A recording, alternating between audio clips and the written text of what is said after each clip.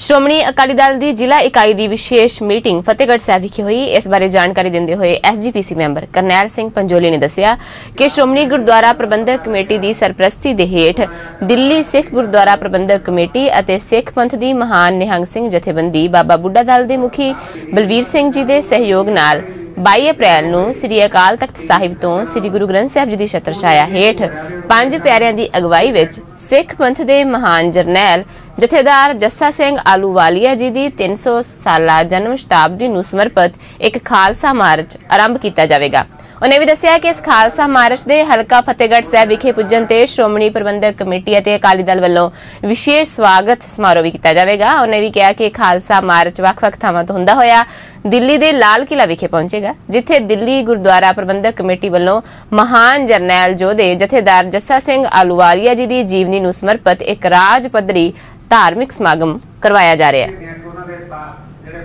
ਆਪਣੇ ਪਾਲਣ ਵਾਲੇ ਲੋਕ ਟੁੱਟ ਗਏ